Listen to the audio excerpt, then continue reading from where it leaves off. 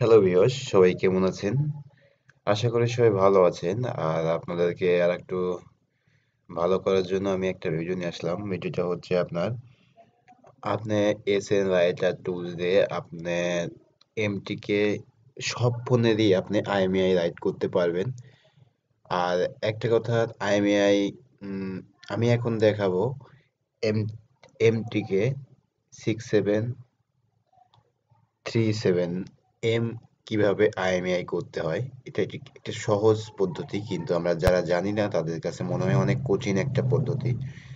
কিন্তু আসলে বন্ধুরা, না, এটা অতি সহজ একটা বিষয়, কিন্তু আমরা যারা জানি না তাদের কাছে মনে হচ্ছে কঠিন।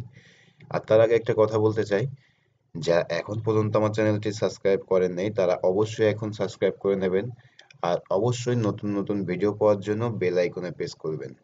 চলুন তাহলে দেখা যাক কীভাবে আমি MT six seven three seven M IMEI write করি। আমার এখানে দেখেন, আমি একটা এসএন টুলস ওপেন করব।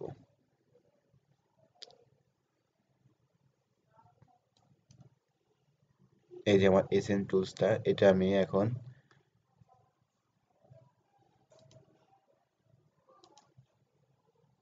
দেখেন একটু, দেখেন আমি এটা আগে স্টার্ট করতে হবে।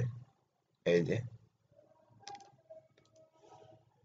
এটা হচ্ছে one point one seven one two এর ভার্সন আমার এখানে দেখেন উপরে এই ইসের ভিতর এপিডিপি বেস ব্যান্ড ফাইলটাও দেওয়া আছে। এইটা আপনার আপনি ডাউনলোড করে নিতে পারবেন এখান থেকে। আমার কাছে যেহেতু আছে অরিজিনালটা আমি ওটা ইউজ করতেছি না। এই ফাইলটা ওপেন করতে হবে।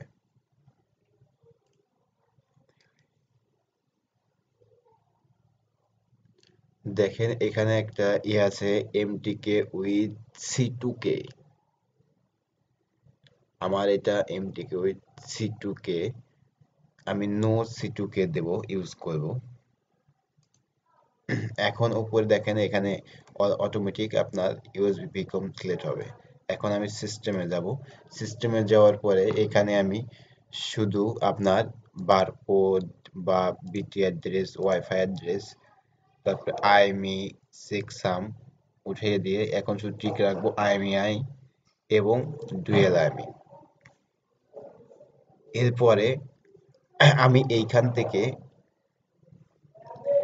এমডি ওয়ান ডিবি ডিবি ফাইলটা সিলেক্ট করব ডিবি ফাইলটা হচ্ছে আপনার বেস ব্যান্ড যে ফাইলটা অর্থাৎ আপনার আপনি যে ফোনটা আইএমআই করবেন, ওই ফোনের বেস ব্যান্ড ফাইল হচ্ছে দুইটা ফাইল থাকে ডিবি ফাইল এবং বিপি মানে এডিপি ফাইল অর্থাৎ বিপিএল অর্থাৎ বিপিএল ফাইল আর এডিপি ফাইল দেখেন ডিবিটা হচ্ছে বিপিএল ফাইল বলে। দেখেন আমার ফাইল যেখানে আছে আমি ওইখান থেকে।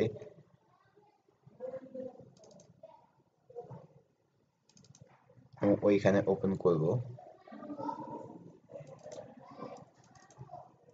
এই যে দেখেন, আমি বিপিএল ফাইলটা সিলেক্ট করলাম। এবার এপিডিপি ফাইলটা সিলেক্ট করব। এখন আমার এপিডিপি এখানে ফাইল দুইটা আছে। এখন আমি কোনটা ইউজ করব? ফার্স্টের নিচেরটা ইউজ করলাম, দেখি কি হয়। এবার সেভ এইবার আপনার সরি এখানে আইএমই মনে হয় আমি ওয়ান সিলেক্ট করেছিলাম, এর কারণে মনে হয় এটা হচ্ছে না, আমি dual IMEI select dual IMEI same select করেছি এর কারণে। এটা আমি তুলে শুধু ডুয়েল আইএমই দিলাম।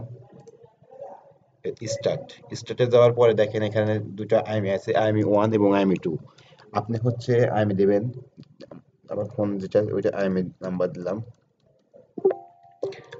এবার কপি করেন। কন্ট্রোল সি এবার নিচেরটায় আছেন। পেস্ট করেন কন্ট্রোল ভি এইবার আপনার লাস্টের দুইটা সংখ্যা চেঞ্জ করতে আপনি বন্ধুরা এইটা জিনিসটা অবশ্যই খেয়াল রাখবেন, আপনার ফোনে যদি দুইটা আইএমই সেম হয়, তাহলে এই ক্ষেত্রে আপনার নেটওয়ার্ক কিন্তু প্রবলেম করবে। কারণ একটা আইএমের জন্য একটা সিম কার্ড চলে। কারণ একটা বিটিএস থেকে কানেক্ট কন্ট্যাক্ট করার জন্য একটা আইএমই নাম্বারে একটা সিম কার্ড চলবে। কারণ একসঙ্গে আপনার দুইটা সিম কার্ড চলতে পারবে না। দেখেন এবার ওকে দিলাম। ওকে দেওয়ার পরে আপনার ফোনটা ব্যাটারি লাগানোর পরে আপনার কেবলটা কানেক্ট করবেন দেখি কানেক্ট করছে দেখি কি হয়।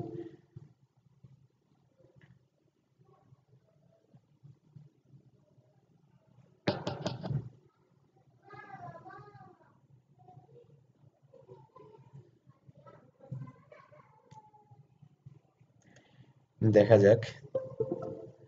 কারণ এখানে আমার এপিডিবি ফাইলটা দুইটা আছে। এখানে আমি কনফিউজ কোনটা? এর জন্য একটু কনফিউজ আমি। তারপরে ইনশাল্লাহ মনে হয়ে যাবে। না হলে আমি আবার একটা চেঞ্জ করে দেবো, এটা কোনো প্রবলেম না। আর এই টুলসগুলো অতি সহজে ব্যবহার করা যায়, কিন্তু তারা আমরা বুঝি না। তাদের মধ্যে অনেক কঠিন একটা বিষয়।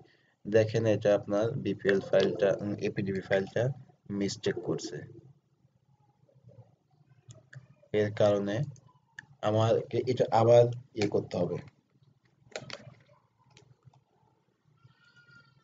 এখান থেকে যা এই পিডিএফ ফাইলটা এর উপর কাটটা সিলেক্ট করে দিতে হবে। ওকে স্টার্ট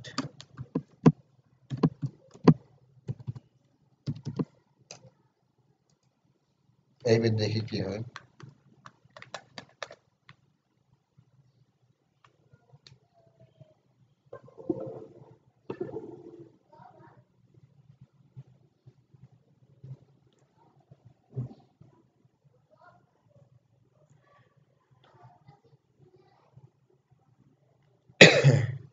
দেখেন।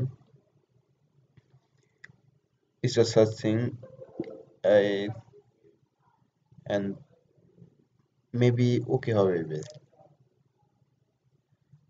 আপনাদের কাছে কঠিন মনে হচ্ছে? যদি কঠিন মনে হয়, আমাকে অবশ্যই কমেন্ট করে জানাতে পারেন। কমেন্ট করে জানালে আমি ওই রকম আপনাদের যেভাবে বোঝেন, সেইভাবে আমি দেবো দেখেন এটা আমি বললাম আপনাদেরকে। এটা আমি যদি এখন এপিডিপি ফাইলটা অন্যটা সিলেক্ট করি, তাহলে এটা হয়ে যাবে। দেখেন এটা অটোমেটিকলি হয়ে হয়ে গেছে। আর বন্ধুরা, আপনারা অবশ্যই বুঝতে পারছেন এই টুলসটা অতি একটা সহজ একটা টুলস আমি আপনাদেরকে আরেকটা কথা বলতে চাই। একবার বলছি, আর একবার বলতেছি, কিছু মনে নিয়েন না। আমার চ্যানেলটা এখন পর্যন্ত যারা সাবস্ক্রাইব করেনি তারা অবশ্যই সাবস্ক্রাইব করে নেবেন। আর অবশ্যই নতুন নতুন ভিডিও পাওয়ার জন্য বেল আইকনে প্রেস করবেন। কারণ আমার ভিডিওটা আমি মনে করি আপনাদেরকে একটু হলেও বোঝাতে পারছে। আর অবশ্যই শেয়ার কমেন্ট তো করতে ভুলবেন না। সবাই ভালো থাকবেন সুস্থ থাকবেন খুদা হাফেজ।